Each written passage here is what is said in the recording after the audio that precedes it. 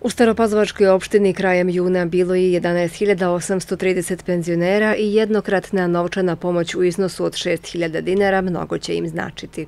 Prosečna penzija 23.235 dinara, 6.000 dinara, to dođe negde, bogom mi, oko 2% povećanje na mesečnom nivou.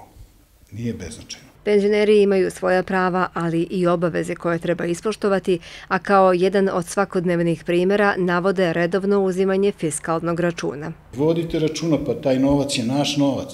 Zašto ga poklanjate nekome, dajte tamo gde može da nam se vrati. Kako nadležni naglašavaju merama fiskalne konsolidacije, došlo se do viška novca u budžetu, koji će biti iskorišćen upravo da se pomogne najstarijim sugrađanima koji imaju veoma skromna primanja. Mislim da se to dobro doći svakome, nema tu greške. Ako država ne može drugčije, ali bi trebalo da povećaju poljoprivrednicima, bez obzira, ne samo meni, svima.